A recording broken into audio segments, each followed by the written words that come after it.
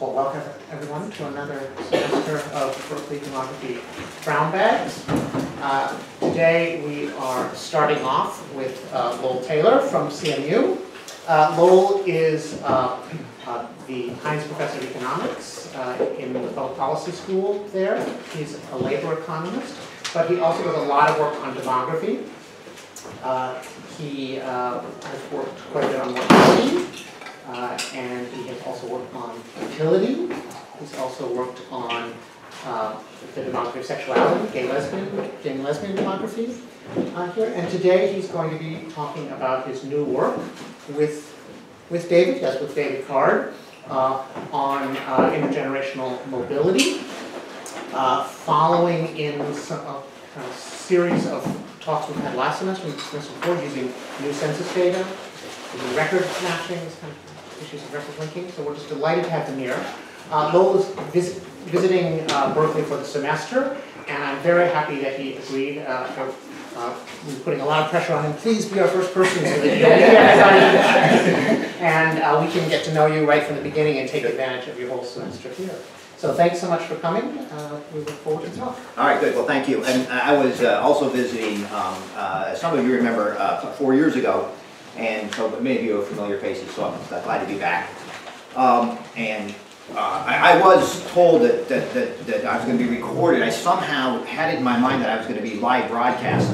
So, so I prepared a joke, but now it's not gonna work. But, okay, well, here's a joke anyway. I was just gonna say, like, this is the, the biggest demography seminar ever, uh, both, period. Period. Both in person and around the globe, but now, see, now it doesn't work.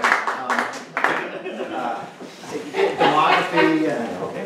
Um, so, uh,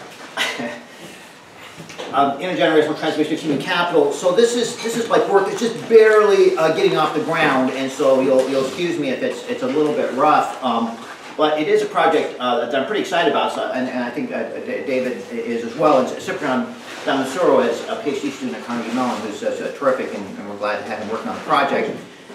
So the, the basic idea here is, is not uh, hard to uh, motivate. Um, we think of ourselves in the U.S. as a, a land of opportunity, a place where in the 18th and 19th century, when people arrived, they didn't have the aristocracy that they had left in Europe, and this was a place where people could make good, even if they came from odd circumstances.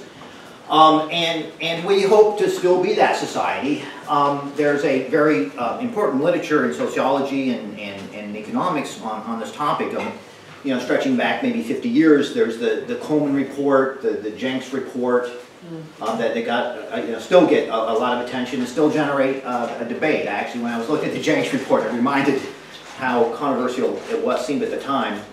Um, uh, and then, you know, Becker and Tomes and, and Glenn Loury uh, were, were among the many economists that were kind of working on this topic as well. The, the, the Loury paper is kind of my favorite of the, of the bunch from this era, sort of talking about how we should expect parental resources to matter for what happens to their kids and how interventions by society might create long-run creative improvements to society. So this is, it does seem like a pretty important topic. Now, on the empirical front, what, what you want to do if you're looking at, at the intergenerational mobility, how people rise from, from, from being kind of low in the socioeconomic status to doing really well, is, is I think you want to look at, at how uh, uh, parents are linked to children. And, and there have been some, some studies, a stream of studies, um, over the last uh, uh, you know tw- 20 years or so. Um, starting with this this really famous paper by Gary Solon, um, uh, ju- justifiably uh, a, a well-regarded paper. It's a little hard now in the era of big data to remind ourselves that this was a study with, with 382 father-son pairs. Um, it wasn't uh, 348, I guess. Uh, father-son pairs. So uh, you know they, he was making a, a lot out of a, a relatively modest sample. Um, subsequent work has, has used somewhat big, bigger data set, but like this, this paper by Bosch, um, Mazumder, um, has 3,000 observations, um, which, is, which is better, and, and now allows them to do things like look at racial differences in, in, in mobility. But, but even there, I mean, my, my recollection is that like 60% of the um, income records had to be imputed, and I mean, you know, people have been working along with, with uh, small data uh, until uh, Raj Chetty. So, uh, uh, the Equality of Opportunity Project, this, this fantastic work, this is the kind of a target that we're, we're headed for. We'd like to be able to do stuff, um, as would everybody. as good as Raj. Um, and his many uh, outstanding co-authors, um, including uh, Pat Kline, is a co-author of one of these, uh, kind of the, the one that's some, a little bit more similar to what we're doing. So I think uh, most folks here know they have IRS records, which means they have uh, big data. Um, and they, they're able, uh, through social security numbers, to link uh, parents and children, so that's good. Um, the, the one thing you'll see that we, we can do that, that these guys can't do is they don't know anything about education, um, um, or at least not much about education, although now we have a new paper um, where they, they spot kids that, that got, um, uh, that they show them in college. Um, and, and they don't know uh, much about race, and they don't really know anything about parents' education. So there's there are things that they, they can't do that, that we're, we're going to be able to do. Uh, but but that's that's the kind of uh, uh, a, a neat thing that we, we sort of like to be able to uh, uh, do with with uh, other data. Um, They also only can look at the current period, given their data starts when it does, so. right. So they're looking at at, at, at, at young people. Um, we, we don't want to rag on them for that because we're going to do the same thing. see. Recent cohorts. Your recent cohorts, yeah. different than young people. Yeah, right. Well, if they look at a recent cohort, yeah, right. Um, uh, uh, yeah, and then there's there's this there's this nice stream of research coming out of Nordic countries. That's, that's another uh, template for what you'd like to be able to do. And again, they, they make use of administrative records. Um, one of the things that we're going to be trying to do, as you'll, you'll see, is we're going to we're going to characterize upward mobility in human capital, by which I really just mean education here. Um, and um, and, and eventually what we'd like to be able to do is to look at contextual factors and ask, well, what, what are the kinds of things that cause uh, some places or some people to do better than others? And, and the Nordic countries actually aren't that great for that purpose because they're, they're all kind of uniform progressive states and so, so this is you know, fantastic work, but there's definitely complementary work that can be done from, from, from, from this. All right, so what are we going to be doing?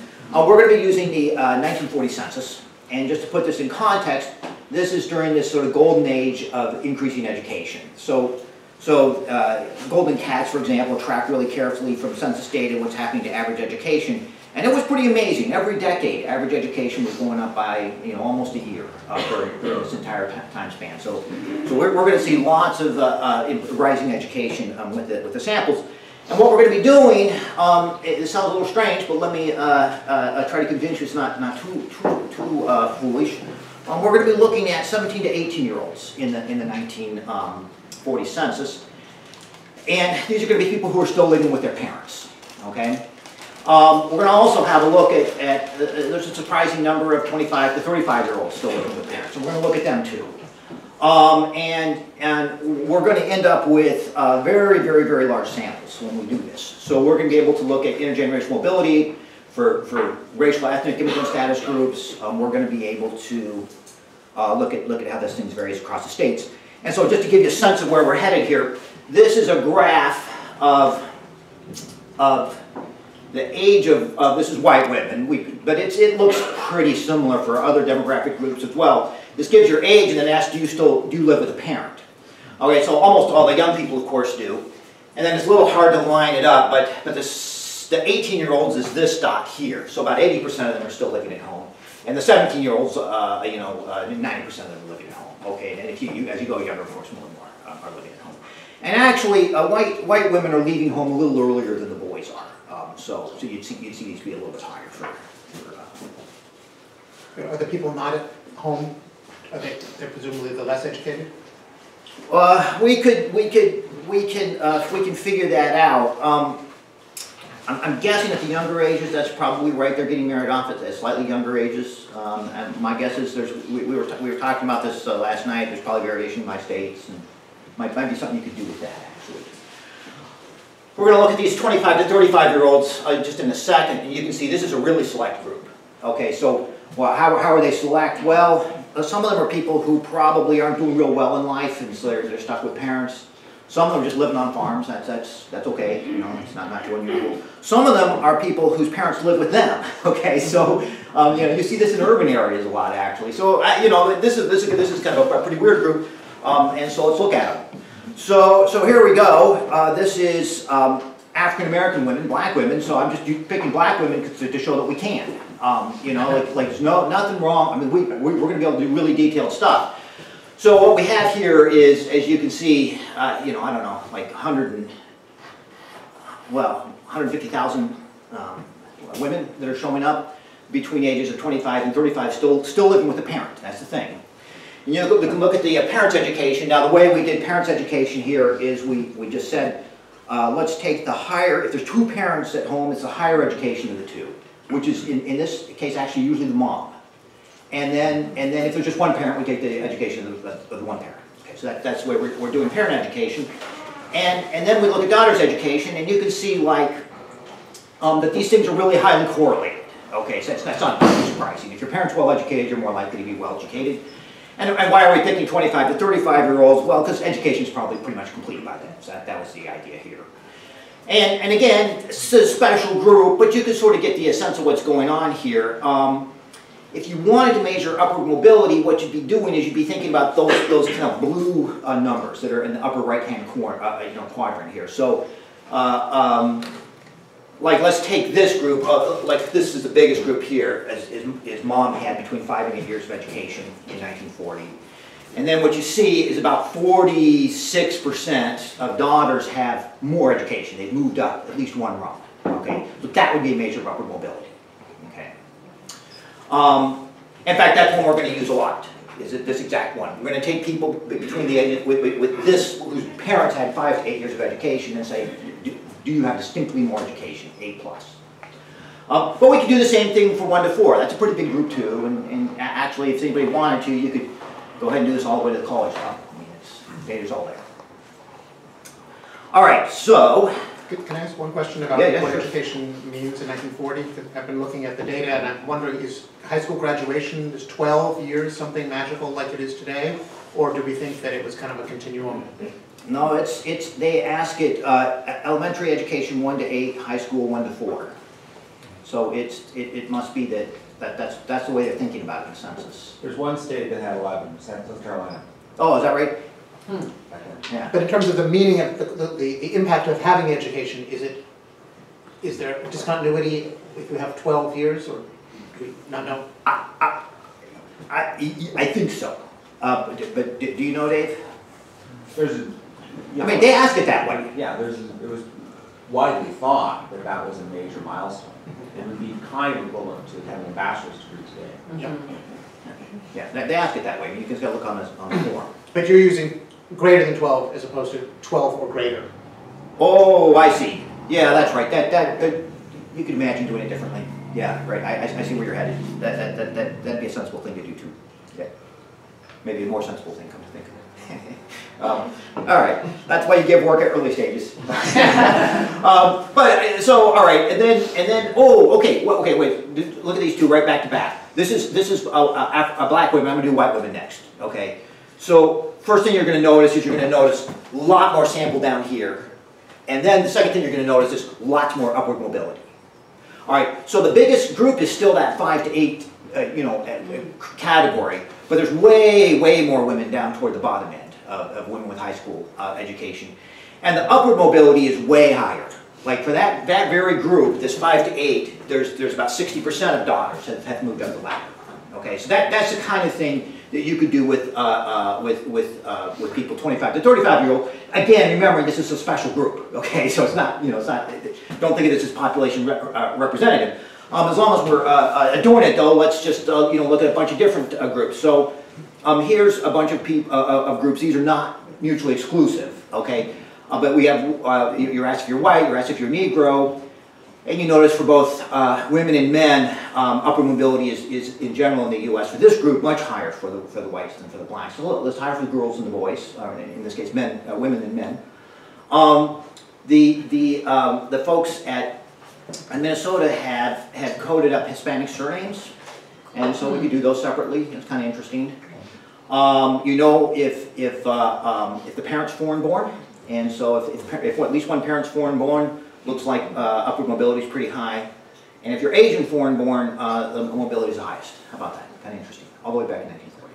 And, and yet, for this kind of special group, okay, now our, our, our concern is that these adults who live with parents are not representative. So, as an alternative, what we're going to be doing is looking at 17 to 18 year olds. And you're going to say, well, wait a minute, 17 to 18 year olds, they're not done with their education yet. That's true, but let's just flip back a, a bit.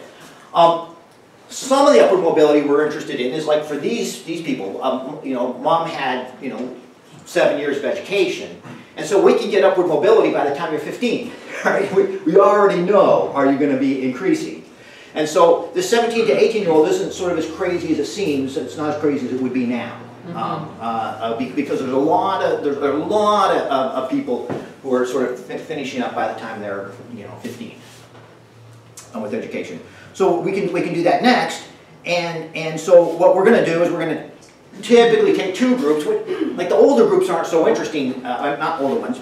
The parental groups with higher education are gonna be a little bit less informative, because we expect their kids to go on to, you know, possibly even to college. But for these ones whose, whose mom or dad have one to four years of education, or five to eight years of education, those will seem pretty interesting. So let's just, let's just look at them. And, and what's the most interesting way to do this? Maths. Okay, so we did learn that from Chetty, uh, so. Uh, so what are we doing? We're looking at upward mobility, uh, among children aged seventeen to eighteen in households where parents have, uh, five to eight years of education. And let's start with women. Um, here's a map for white women. Uh, the, the colors are prettier, uh, much prettier on my screen. Uh, So, I, I don't know what's going on here. Um, But, if you could, you could see this, what you'd see is, well, okay, these darker colors, the, the highest color is upward mobility is ninety percent. Okay, so al- almost everybody's upwardly mobile, and these really light colors are, are, are all the way down to, uh, um, under twenty percent. Now, what I'm gonna do is just flip from white women to, um, black women, and the main thing to notice is that, first of all, upward mobility is much, much lower. But what's more important and more interesting to us is there's much more geographic dispersion in, in upward mobility. Like, so it's way, uh, way lower in the south. To get a sense for this, um, upward mobility is as low as twenty percent in, in Mississippi, okay? But it's, it's really high out here in California, and it's high up in New York. Um, uh, let's see, let's try this for men. So here's, uh, white men, and you can see again, for white men, there's not a huge amount of, of geographic di- di- dispersion, but it's, it's, it's lowest in Tennessee and, and uh, my, my home state, um, and, and Kentucky. Um, and it's, it's, uh, you know, hi- higher in, in the, um, you know, Midwest and, and much higher in California. This is based on where they live or where they're born? This is based on where they live in 1940. All right, so they're 17 to 18 year old in 1940. Um, one, one thing we're gonna, I'll show you some regressions, but not the coefficients that you, you might wanna see. Um, uh, it turns out that if you're born in a different state and migrated, that doesn't seem to make a big difference in this. What about if the parents were born in a different state? Because you've got the children of the Great Migration You, here. you, you do. I um, mean, but midway through. Not, not there, but here you Not do. Um, and, and so, so, but by the way, look, look at, the- look at the contrast here, it's just stunning. Okay, so you, you observe things are a little worse in the south for white men, for black men, they're massively worse. And then your point is, these people up in Ohio and out in California are, are, are, are migrants, their, their parents are, are probably migrants. Um, yeah, um, it, it, especially, let's think about California, um, uh, these are, these are special people. I mean, so they, they came, they came often from, um, uh, from northern Louisiana, actually. This is, this is where they're coming from. There's a, there's a big railway that cuts right through here, and then right on over to, uh, LA. Um, and so there's a, there's a kind of a big flow of these migrants coming over, so they're, they're a little bit special. On the other hand, what's sort of interesting is upward mobility is, is really similar for, uh, African American, for, for, um, for people who are born, for people whose parents were born in California and people who are migrants. So the ones who were born here may be special too, or there's something special about California.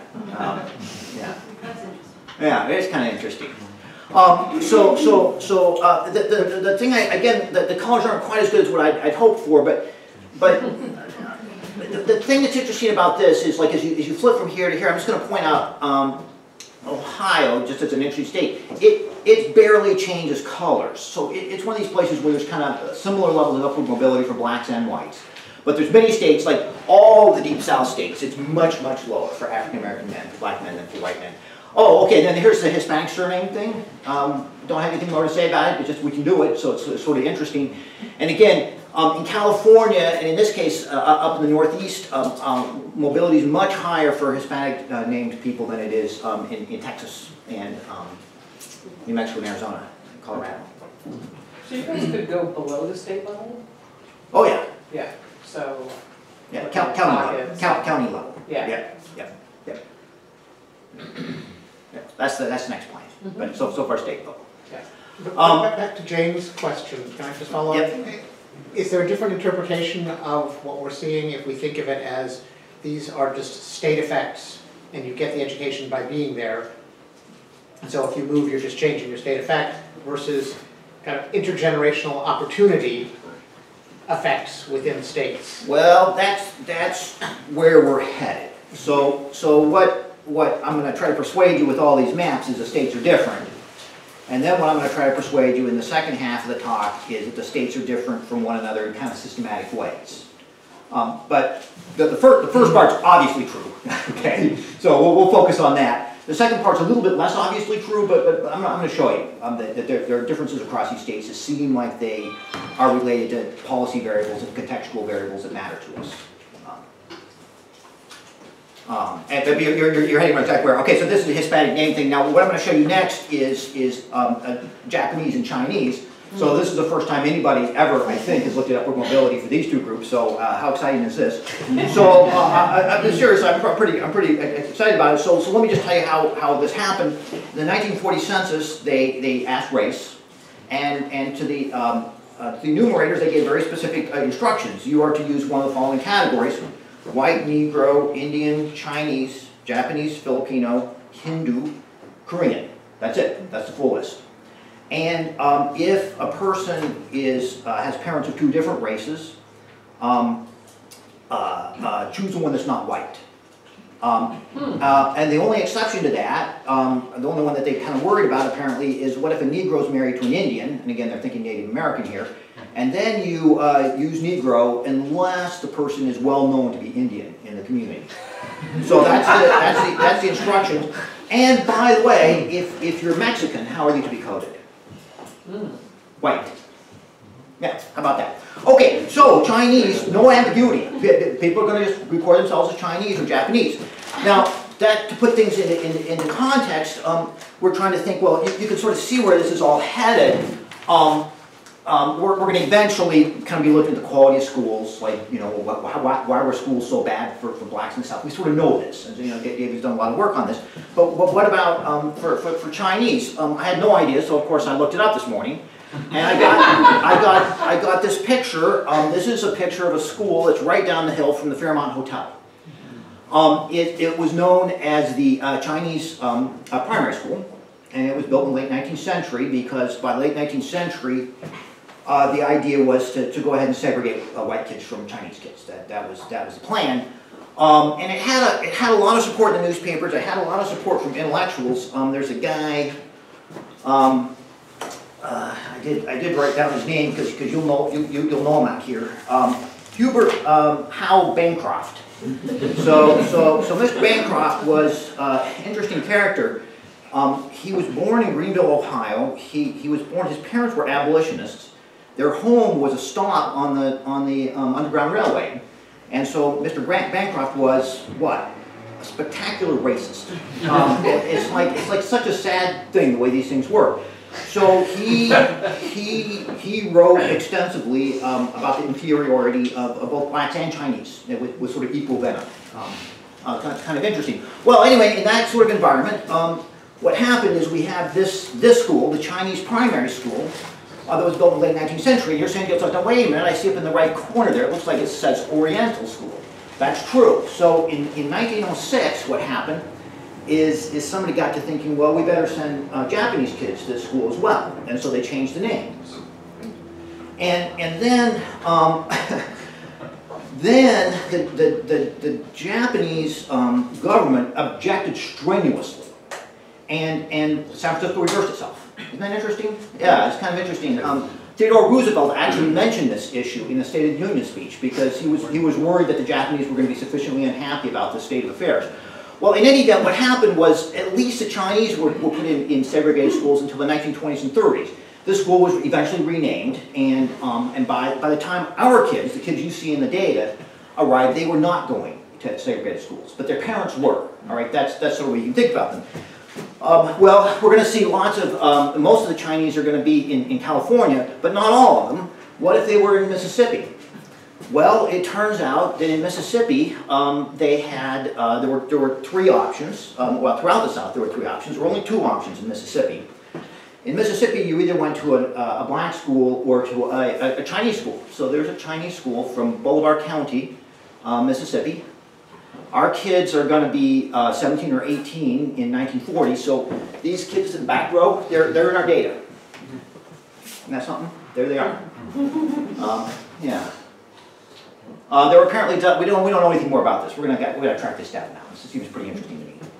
Um, so, oh, and by the way, uh, why do we know that the- some of these kids ended up going to black schools? In nineteen twenty-seven, there was one of these infamous cases that went to the Supreme Court, um, Lum versus Rice. Um, there's a, a Chinese girl wanted to go to a, a white school, and, uh, it was ruled at the Supreme Court that as long as it was separate but equal, uh, she could be sent to the black school. So- All right, so here it is, upward mobility for, for Chinese men. Um, um, and we, we don't, we don't have a map for women yet, we'll, we'll, we'll get one. Um, again, in China, in, in California, it's, it's extremely high, like, like nearly ninety percent. Um, in Alabama, um, where there's, okay, you get at least five hundred, uh, of these young men had to show up for, for us to do with them in the map. But they still, you know, you can see they're showing up, and, and here, it's ju- just as low as it is for African American men. Is this the measure with um, parents five, with five? It is, children? same, same thing, yep. So in the, among the Chinese at this time, are, the Chinese immigrants, do they have that much education or? Uh, they, they, they, they do, I mean, there's some from one to four, and we can do those as well. Um, this, this happens to be the five to eight group, but, yeah. yeah. And then, in doing it, once we do it in regression analysis, we'll, we'll, we'll get more observations. We can- Yeah, so this, oh, and and then, there's some Chinese uh, folks up in the northeast, and they seem to be doing pretty well, so it's kind of, kind of interesting to track down who, who, who those are. Um, uh, Japanese men are all, all on the, uh, west coast, and they all have enormously high, uh, upward mobility.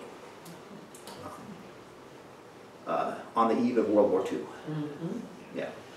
Um, okay, so there's, there's our maps. Okay, we can sort of summarize what we've learned. Um, and, and again, this is all just kind of, bear in mind, this is all descriptive. This is an upward mobility measure for people whose parents have education, um, five to eight, all right? So now you have to have more than eight. You have to get, at least have some high school. And, and the thing is, it's lower in the south for everybody, but especially for African Americans. And it's higher in the west for everybody, including blacks. That's the thing. Isn't that something kind of interesting? Um, now, sad news is that almost all African Americans are in this bin Right. during this era. And then for, uh, for the Chinese, Japanese, and I, I think uh, Cyprian put Koreans and, and Filipinos in, but you know, they're a very, very small part of the group, part of the group. They're almost all here. That's, that's the big group. But you do have substantial numbers of blacks in the northeast and the west. No, that's right. And there, the, the parity is, is interesting. It is interesting, isn't it? Yeah, it tells you something's going on. Either there's, uh, they're a select group, they are a select group, they're migrants, um, and or there's something going on in the schools, uh, which we're gonna try to study in a minute. Um, yeah. Uh, These are, the these are the kids in eighth, ninth grade, uh, the proportions subtracted from basically the the parents who maybe don't only to eighth grade. Correct. Correct. So of course, this is a difference measure, it depends on what the base is. So. Yeah, so, um, If you come from a family or a group in which the modal achievement is three grades, well, well, it's not, I, I, I, whatever it is, whatever it is, you're gonna have a bigger rate. yeah, yeah, that's, that's. It's the issue of ceiling and floor effects. No, no, no, that's exactly right. So, what- what- these are, the parents have, have five to eight years of education, so they're in the same bin. But even within that bin, your point's, I think where you're headed is that among, among the black group, they may be much close, more of them near five, and among the whites more near eight, that's, that's certainly right. So eventually, what we wanna do is regression analyses, do it by year, but, yeah. Yeah. It- It'll change things a little bit, you, you wouldn't think too much. Um, all right, so, uh, uh, so what, what's going on here? Well, you know, we're economists, so we'll sort of write down a, a, a little bit of a model here, and it's, it's kind of in the same spirit of, as, of actually Glenn Loury's model. He does much fancier things than we do with it, but point here is that parents care about what's going on today, that's the V1 thing. And so your consumption depends on your income, that's why. And, and kids during this era could, could, could pitch in on the farm. And so this W, W is just like, like what, what the wage is, how much pro- product a 12-year-old kid or 14-year-old kid or 17-year-old kid can produce on, on the farm. And then one minus E tells you how much time is your kid in school. So I guess the way we're thinking about this is schools available up to, uh, you know, typically tenth grade or twelfth grade in local communities, and how much of that you take advantage of. So you, you can, you can, um, well, you can sort of see how this is gonna work. Um, what we do is we say, all right, well, what's that Y two gonna be? The Y two is gonna be the kid's income when they're an adult, I mean, you care about your kids, you want them to be happy too. And, and maybe, maybe it's produced according to a Mincerian production function. And what does a Mincerian production function mean? It just means that you get to take log of W and it's linear in education. So that's, you know, so what everybody does, so.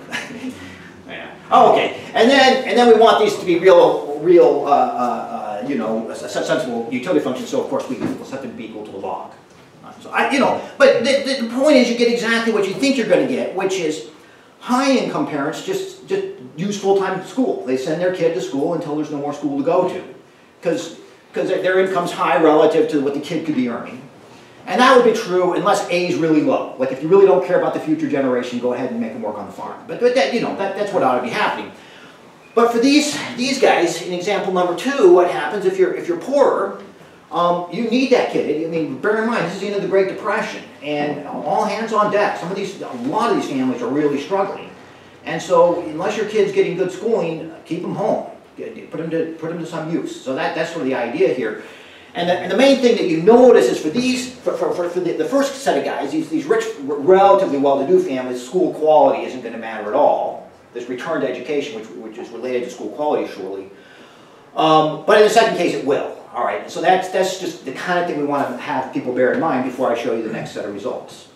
The, the, the idea being if the returns are really high, if the school quality is really good, then you'll, then you'll go ahead and do it? Yeah, so the, the comparative static goes like this. It says, it says, for relatively high-income families or families that are really forward-looking, and just parenthetically, we might stop there, actually, some immigrants are thought to be kind of especially forward-looking people, and so, so place a greater weight on their kids. That, that would work the same way here, actually. That's it, that, that, A, is bigger here. But in any event, for, for relatively well, well-educated, high-income families, and ones that are really forward-looking, they, they just send their kids to school full-time.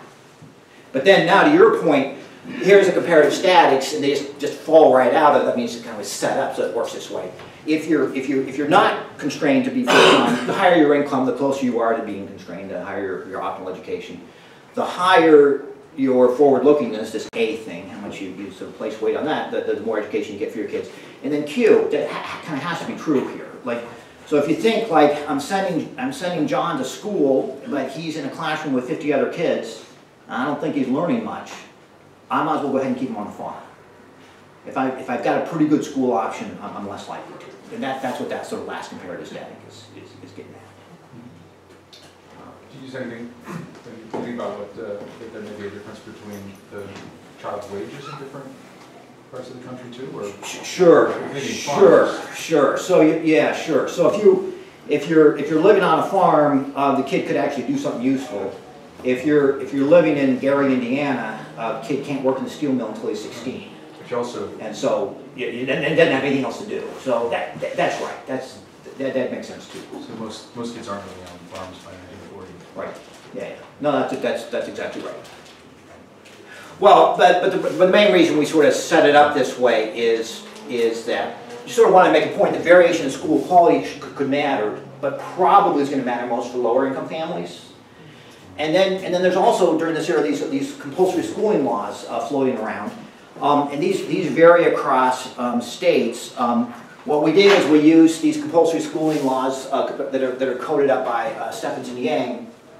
And it, it, it's a little bit complicated because there's a whole series of regulations and rules and age restrictions and stuff like that. But essentially, they sort of put, put states into categories where you, you, you're required to get seven or fewer years of school, eight, nine, or 10. That, those are the sort of basic categories that most of these laws fall into. So we're going to use those. And then as for school quality, um, th- these data, um, uh, uh, Dave and Alan Krueger have, have a, a couple of pretty well-known papers, uh, extremely well-known papers from 19, uh, early 1990s that, where they code up the, uh, a bunch of school quality measures um, in the South separately for blacks and whites, and then for the rest of the country for, for, for, for schools more broadly. And they, they know uh, teacher salaries, student-teacher ratios, and term lengths. And so those are, those are what we're going to use for now. Um, uh, uh, who asked, oh, yeah, we can do this at much more local levels also now, now we have the nineteen forty census, but, but we'll just start with state level stuff. So, uh, so what do we, what do we find? Well, let's just get back to the maps. Okay, so remember, our story is that school quality should matter more for, for kind of the low-end kids and the high-end kids. So these are, these are white men, and you, you've already seen this before, they, they're getting somewhat lower education in, in especially Kentucky and, and Tennessee and, and in the South. Okay, but these are the ones whose, whose parent has five to eight years of education. Now, what I'm gonna show you next is parents who had one to four years of education. So what's gonna happen? Mo- Mobility is gonna definitely be lower, because, because this is upper, upper mobility all the way up to eight plus. Oh. Okay, so it's got to be lower. Okay, The it has to be lower. the kid generation's the same. Yeah, it has to be lower. And actually, this is the one where I wanted you to focus on, on, on, on on Ohio, and I'll tell you why in a second. But what we, well, this is what we get. All right, so for these kids, regional variation matters way more. Okay, let me just go back and forth. Okay, this is, these are, these are the parents who have a little bit more education, the ones who have less education, and regional variation uh, is is way bigger. And the reason Ohio doesn't change is Ohio required all these kids to to get at least eight years of education. But now you've, you've changed the measure of mobility from getting more than your parents to actually an absolute level of it. To getting all the way up to eight, that's exactly right. That's, that's a different metric. It's a completely different metric, The- but the main, the main point, whoops, sorry, uh, but the main point here is, is not that it's lower, we would expect the upper mobility to be lower, it's that the regional variation increases. And our interpretation, you can see where we're headed, is this has to do with school resources. Um, or, or plausibly has to do with school resources.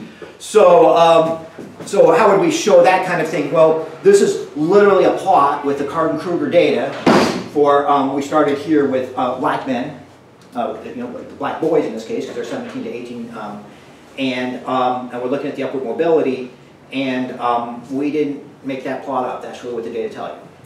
So in, in the, in the deep south, Mississippi, South Carolina, Louisiana, and Alabama, plus Arkansas, which we'll lump into the deep south just for this purpose, uh, teacher salaries are, are unbelievably low, and upward mobility is, is astonishing low. Twenty percent of these boys are, are doing better than their parent. Is the teacher salary data for all schools, presumably the black schools? No, it's for the black schools. Yeah, these are for the black schools. Yeah, we'll show you the white schools in a minute. Okay, thanks. Yep, yep. You can do it the other way around, you can do teacher, student-teacher ratios. Oh, these data, by the way, are from nineteen thirty-six, so this is like when these kids would be in school. Um, And, uh, look, look at this, in Mississippi, uh, a lot of these classrooms were bigger than this, okay? Because some of the schools were kind of small schools, kind of stuck in the middle of nowhere, so they only had thirty, which means there's others where they must have had 70, 80 kids per teacher. And, um, and, well, you can just sort of see what happens. Um, uh, Here's the same thing for the black women, same, same exact story. This these are the deep south states, look at Mississippi. Um, um, uh, And then you can sort of flip the other way around uh, for, for, for, for women too, for girls. The uh, student-teacher ratio is really high in places like Louisiana, Mississippi. And it just kind of lands up pretty well. Uh, For, for whites, we can do this for, um, for the entire country, um, or at least most, is that all 50 states, Dave? I guess it is. Forty-eight, we didn't have Alaska and Hawaii back then, but we had DC, so it's forty-nine. There you go. All right. And uh, so you can still see the same, same kind of pattern. Here's Mrs., here's the deep south again, so the white, white kids weren't doing all that well either, but upward mobility is higher for a variety of reasons, possibly having to do with composition, but surely, you know, surely uh, school resources matter here. Um, You can flip it around and do the student-teacher ratio. Mississippi's still the worst, but now they have one, one teacher for every 40 kids. Um, North Dakota, South Dakota, they had small classes, didn't they? What's going on there? Um, and you can do the same thing for, for, for the women. Um, so these are 17 to 8 year old uh, women. Um, and you get this upward sloping thing in the teacher salary and downward sloping thing in the, the student teacher ratios. Um, so that, that seems, that seems kind of compelling. Um, let's, uh, let's do this with regressions now. So, so we're gonna just basically take those same data, oh, oh, plus the school term data, there's also data on how long the school year went, so we have three, three majors. Okay, so let's see what's happening here. You've got 17 to 18 year olds who are living with their parent, and you really want to think of this as a censored regression. Because some of them are still in school, which means they're going to get more, and a lot of them, like half of them, are done with schooling. And for them, you observe everything you need to. So this is a classic case where we feel pretty good about using a, uh, just a, uh, I guess this is a Tobit uh, kind of a setup here. And um, uh, so let's see what happens here. So, so now what, what we're looking for is, we, we just do all the groups, right? So this is, this is a parent head 1 to 4, parent head 5 to 8, parent head 6 9 to 12 and over 12. And so far, we've only estimated these for white men and white women. Uh, but forthcoming, we'll, we'll, do something probably a little more elaborate than this, or at least a little different than this. Um, uh, we've included a lot of controls here. So, so we, we include the kid's age, of course. That's got to matter. And, and family structure, which, which is just, are there two parents present? And if not, is it mom, only mom, or only dad? Um, we look at whether you're urban or farm, uh, born out of state, because we didn't wanna, we don't want this just to be kind of picking up migrants and stuff like that. Um, and then we could, of course, cluster these things at the state level, since our variation in schooling quality is at the state level. And you kind of see what we kind of thought we would show, which is if the parent has a relatively, so think of these as being poor families, these school quality things matter quite a lot. It's actually the pupil-teacher ratio and the teacher salaries always kicks in. This is the same thing, I think, in, in the, in the original Card and Krueger papers. Those are the, those are the ones that really matter. And then as you kind of move up the educational uh, chain, um, it, th- those things tend to matter a little less um, for, for, for, for, for uh, um, Does the amount of variation in those variables change? Does he, mean, the, or the, parents have nine to twelve years of education, they all live in communities with relatively high teacher salaries? This is all just at the state level, That's so. what's- So given that all the maps you showed us had the kind of outcome variable, did you get beyond eighth grade? Why didn't you start with that regression? When the Oh. outcome variable was, did you get beyond, I mean, that would have been a sensible thing to do. I mean, this is not to say that this isn't, I don't- not that this No, isn't no. informative, but it would have been a natural No, that- progression to expect. Sure. Yeah, that'd have been a smart thing to do. Yeah, good plan. Uh, Yeah, the censored regression has this sort of disadvantage of being, um, you know, a little, yeah, it's- Little black box. yeah, a little bad luck. Yeah, yeah, that would have been, yep, Yeah. yep, I like it. I mean, you can also just regress, are you in school, and you could do that on all kinds of different ages. Oh, yeah, you could do that. Yeah. Right, Yep, Yep, that'd be a pretty good graph. yeah, exactly. Did you get me on eight, nine? We have, we have enough data, so graphs work Exactly. really, really well. Right. That's a pretty good idea, too. Could you just talk to us how we should understand term length? What is, what what do you think is going on there? Oh, yeah, uh, so term length is the number of days that a kid was in school. Oh, that's the mandated days, average mandated days of schooling in the state, yeah, there for the. K-12 system as a whole. And they vary, Some- In some states it will vary widely across districts.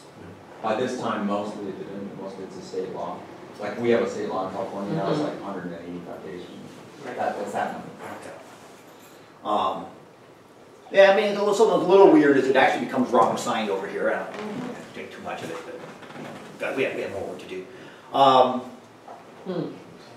But yeah, I mean, these are, all right, well, all right, so that's, that's what we get for the white men. For the white women, um, same, same deal, the pattern was uh, kind of almost identical, um, uh, similar at least. So, so for, for these, these, these, these women coming from poor families, these, these variables matter, um, a little bit more than they do for the, for the ones. Doesn't term length in your model increase the cost of the going to school? Mhm. So if you just run the regression of term length alone, it's always positive, but it's not that much variability. The original reason we collected it was because back in nineteen hundred, there's a Y variation. And when we went to Because of the black white harvest and all that stuff, right? by nineteen thirty-eight or something. Um, Three weeks? Uh, what I just do? Just went backwards, I guess. Or I've been twice, don't know which. Oh, compulsory schooling laws, that's what I'm doing, I'm zipping right by them, okay, sorry. So here's something else that might be mattering, um, uh, uh, and, and in some ways, this, this is kind of a kind of cleaner exercise when you think about it. So, so as I was saying, during this time period, um, um, what, what Mel Stephens and, and, um, uh, Dou-Yan uh, show is that, um, is that, other people have kind of worked on this, but I, I think their code is kind of the, the most recent, is that states have like uh, six, seven years, or actually some less, years of schooling mandated, um, eight, uh, nine, or ten. And um, I, I gotta tell you, there's a lot, there, there are a lot of kids who have dropped out before the mandated gr- uh, grade. It's it's almost like more of a suggestion in the states. But it, it, it, it, wo- it really, it does work, I mean, it does, it does change things. For whom? for, for the, for the kids whose parents are poorly educated. This kind of makes sense. Like if you're in one of these, typically the more progressive states are the ones that have uh, higher mandates. And, and if you're a relatively well-to-do parent in one of those more progressive states, your, your kid's probably gonna finish high school anyway, or at least make tenth grade. And so that's, that, you wanna think of that as being these people over here. Um, so these are actually people whose, whose parent, one parent has at least some college, might not have been the smartest thing to do, but, but it's what we did. And these people have at least some high school, and now these mandates don't, don't matter much at all. It doesn't seem too surprising to me. This is interesting because it, it get, it sheds, at a minimum, it sheds a little bit of, of, of light on what's going on if you use compulsory schooling laws as an instrument for anything. What, what you're gonna be doing is you're gonna be weighting these people. And so just, just bear that in mind every time you read a compulsory schooling uh, paper from now on out. It's, it's not, it's, it's, it's, yeah, it's really something special. Um, and that was for, for white men, this is now for the white women, and you see the same, same exact things going on. These things bite, but they only bite, uh, sort of, uh, you know, down in here. Um, what we, what we are, are planning to do uh, going forward is to try to, I mean, since the changes in these compulsory schooling laws that, that people have used, and we can't do this very well yet, because remember, all I've shown you is like seventeen to eighteen year olds. And so there's, yeah, there's not, not much vari, there's no variation there to use, but I can just, we can just use this same trick. Uh, look at people who live with, with a parent. So they're special, but look at, here we're looking at twenty-six to forty uh, year old, uh, white men and women who lived with a, with a parent. And you can kind of see what happens here. This, this spot right here, these kids from this cohort forward should be getting, should be getting eight years of education if they were following the law. Okay? And so before what was happening, uh, uh, these are well-educated parents, so this is like the eight-plus category, and these are the less than eight category, kind of split the sample in half uh, roughly that way.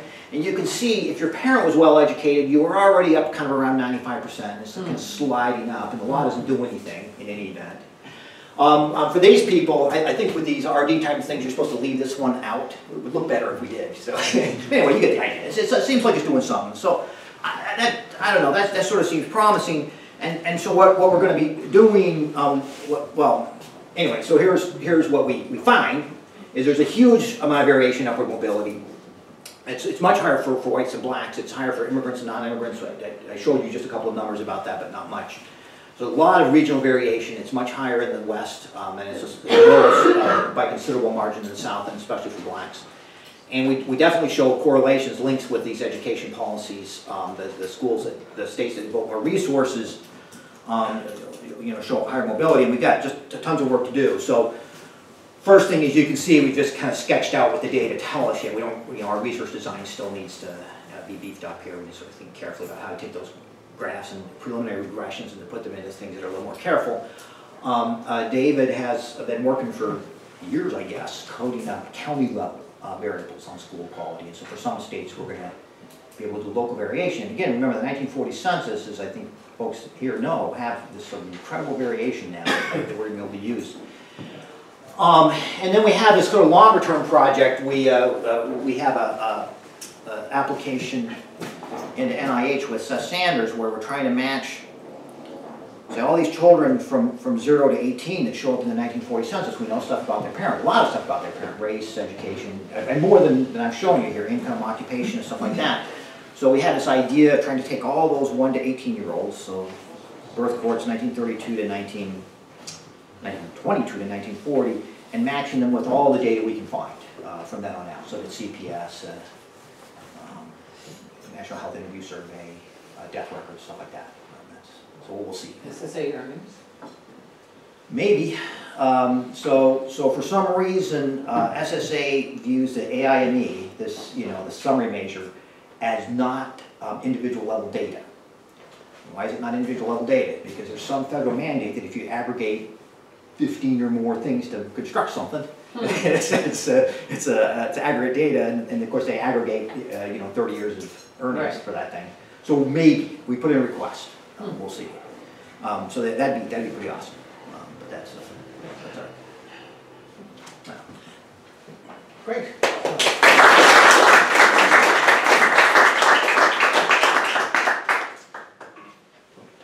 Your interesting introduction, I was expecting to see many breakdowns by farm, non-farm, and by mobility, non-mobility. And this, you, you gave an interesting, I would say more sociological than economic story about what might be happening Okay. uh, in the, these two sectors. It didn't lead you into talking about what are the right deflators to use. So on teacher salaries, there are big cost of living differences among these places, and in the education sector, what a year of schooling meant must have been very different in cities than in, in farm circumstances. So could you talk a little about farm, non-farm? That's a big dichotomy. Of of course, of course, of course I can, of course I can talk about it, um, but let's get this so early on. Okay, so all, all, all I can tell you for sure is if, if I had showed you more coefficients in, in, in, in any of these regressions, but let's just, let's come back to this one. We do a control for farm, whether you live on a farm or not, and as you can imagine, the coefficient on that thing is big time negative. So farm, farm kids controlling for parents' education are, are likely to not get as much schooling. So that's all we know so far. But your, your, your, your, your your suggestion's well taken. I mean, it, it, it, it, I- if you really believe our, our, our theory, um, farm kids ought to be more valuable around the house than non-farm kids. And so, so you, you think, even think these coefficients might look different. That'd be, be a pretty sensible thing to try. Um, yeah, and then for regional deflators, um, yeah, I, I, I, that's actually something I've thought about a lot, not in this context. Uh, and it's a, it's a really hard problem. I mean, uh, so I thought about it in the context of the Great Migration. So you have a family in Mississippi, this would be a typical story. Family in Mississippi is making four hundred dollars a year. They move to Chicago, they're making fifteen hundred dollars a year. Has real income gone up? Not at all obvious to me that it has. And it's really interesting, it's a hard problem. So, uh, I I believe in soci- we have sociologists here, who are experts in this, but there's a- usually a big distinction between a change in the marginal distribution and a change in the rate of mobil, and the kind of mobility controlling for the marginal distribution. When you show us, Structural the- versus circular. when you, sh- when you Whoa, show whoa, us, whoa, whoa, what's that called? Structural versus what? Structural versus circular mobility. Structural versus circular. I don't know what this means, but Well, I I should I- know. I'll I'll give the floor back to Josh in a second. But, but structural means every, sort of, the whole average level of education goes up because of some, Oh, oh, you, you hand out certificates of graduation to everybody, you know, yeah, whatever. yeah, right. Uh, and circular means do people move from their relative positions or not? Yeah, right. so I guess I was wondering, in, in terms of the states, is, is, is what we're seeing is that everybody is being benefited, say in California, um, and no one is doing better in Mississippi, or is it that, uh, there's actually greater mobility once we control Well, for there's- the averages? There's, there's greater mobility, I mean, so, so what's happening in California, like, so you wanna bear in mind, like, these, these maps here are like, uh, so this is white, white men, let's, let's pick the, I mean, well, it, it could be anybody. Oh, let's, let's do white men again, see, this is, this is fine, because we got, remember, you got these two groups. I mean, so, th- these are people who get to eight plus, right, and it's really high for everybody. Like, for, for, whether you're five to eight, or, or, or whether your parent has a four, one to four. And Ohio's even better, look Ohio doesn't change color at all, the number's the same. So it's, it's, it's really, their school policies are really dragging the kids up from very low education families. But if, but maybe the, I guess my, my, it, it doesn't seem very controversial that if you pour resources at everybody, that everybody goes up.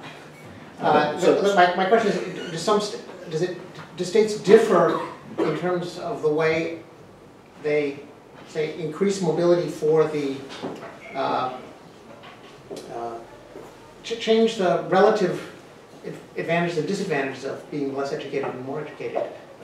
Well. So you're, you're, it's a li- little bit preliminary, but if you, if you believe th- th- this picture, if you believe these two pictures, the answer is, is, is very much yes. So again, pick Ohio, and, and the reason I feel a little more confident about it is because that's the one where we've actually gone back and trying to see what compulsory schooling laws happen. But the point is, these are really poor families, and these are kind of poor families. Either way, these boys are almost all getting eight or more years of education. And that's absolutely not happening in other states. So in other states, those pictures change color, which tells you what? It tells you that the, you know, like, like think Louisiana. Louisiana's doing a terrible job with the, with the really poor kids, and they're doing a little bit better job with the uh, somewhat less poor kids. And so there's, there's big variation across states in that thing, too. That- That's the, you know, and, and again, with the caveat that these bins are kind of coarse, and, you know, we can do better. So just where, oh, Yeah, I'm sorry. sorry, So, go uh, ahead. Um, So the- my my question is- goes back to the motivation issue, uh, which is, is understanding education. And two, po- I think some of the literature in sociology is getting skeptical about education, both as an interesting variable, uh, well, it's an interesting, always an interesting variable, but as a sort of, uh, as a variable that, that, that that has uh, uh, interesting effects on mobility. And there are two parts of it. One is this thing we just alluded to, which is circular versus structural mobility. So if you elevate everybody's education level, one thing you can do is you can compress the difference between kids from poor backgrounds and kids at upper backgrounds. But their, their relative position may just stay the same. So now the college graduates, kids are getting MAs, and the MA graduates, kids are getting PhDs, and so forth and so on. Yeah. Which is very different than people actually being displaced in the relative, people dropping down from the relative position from above to below. So that's one thing that, and so you have, for instance, Mike Hout used to be here, wrote a paper called maximum, maximum feasible inequality or something like that. In which he argues that basically school systems over time get rigged so that they're always, the, the kids from the well-to-do families are always one step ahead, even if the average level of education is moving up. That's, that's one point. And related to that is, is a question of, um, what is it, it's, it, it, there- are two related questions. So the other one is, is what does it mean to have a certain level of education? And this is a historical uh, dimension, but also could talk about regional dimensions. If what you have is that employers decide they're going to make high school graduation requirement to work on the assembly line, where ten years earlier, all they required was a grammar school education, but the job itself hasn't changed. And even the relative income hasn't changed. They just increased the, the, uh, certification you need.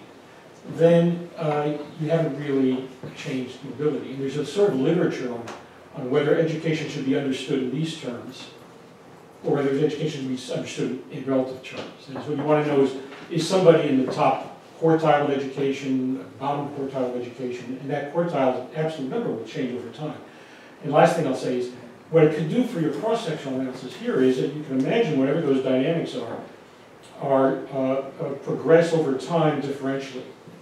So that it may well be that the employer, the manual employer in Mississippi in nineteen forty wants somebody who can just read and write very simply. But the same job in Chicago, the employer is asking, because he can ask, for a high school graduate. And so the meaning of year, what years means in terms of your ultimate uh, uh, economic opportunities is different. Yeah, so, um, uh, to your first point, um, that education is always rigged to help the, uh, the kids at the high end, that seems right to me. Uh, What, I would say is, it looks to me, just sort of working our way back to these maps, just look at these, these ones in California, is it seems less rigged, at least during this era, in California than elsewhere. That's interesting. So, we, we've already just described specific examples where California was probably, was far from progressive during this era, but, but, but more progressive than other states, so somewhat less rigged. To your, to your second point, um, about the requirements, that, that seems really fair to me. Um, it could be that, so it's not as if African Americans subsequently did, did all that well here in California, so, so, you know, maybe these, these, these young people got better education, and then other things happened over the following twenty or thirty years that weren't, weren't so good, um, here. And who knows if it has something to do with what you're, you're, you're, you're, arguing about, um, eh, which is related to your third point about my, about dynamics. Um, what I really hope we can do is, is get these, these data matched to the CPS and, and eventually to the AIME, and we'll be able to answer some more of your, your, your questions. I, I have, I have strong priors on what we're gonna find, I, uh, the- and, and it's in part from the previous work that uh, David and Alan did uh, years ago, and that is having higher education uh, is better everywhere. Um, And it's especially better in places that have high-quality schools. But, but, you know, we, we can do, we can do more than, than what, uh, what these guys did uh, previously. Um, Still have time. But your, I mean, your, your, your comments are actually sort of, uh, sound like they could be right out of the, right out of the debate around the Jencks report. So Jen- Jencks was like back and forth on this very issue. I- I've got a question that's sort of, for now speculate, and then maybe you can do something with this later, which is, um, what if, can you think a little bit about the, the role of sib size here and I'm, I'm sorry, of what's, sib size? So you've got seventeen to eighteen year olds, but you also Yeah. perhaps have their siblings. sure, And some of those are going to be large sets of children and some small, and that's gonna be changing over time. Yeah. Um, siblings, siblings are a really, really, uh, really uh, good idea. And, uh, uh, we're not only gonna see siblings and families here, but if we're, if we're lucky, we're gonna see siblings later on. So then you can kind of estimate these, I guess, Gary Solon's done some of this, where you kind of look at, that's a really good idea. Yeah. As, as always, the, the future ideas are the best ones. Hopefully we'll get to that- I, I really, I like the idea. So are you gonna be able to join us for tea for more questions? Yes. Okay, so thank you so much.